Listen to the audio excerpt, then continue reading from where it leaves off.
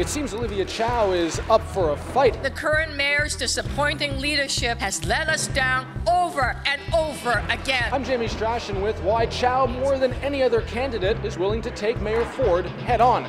The downside of downsizing. We are attached to our things. I've been here for 40 years. We see value where there is no value. I'm Charlsie Agro with tips on scaling down for seniors or anyone looking to move on to a smaller space, starting at 5.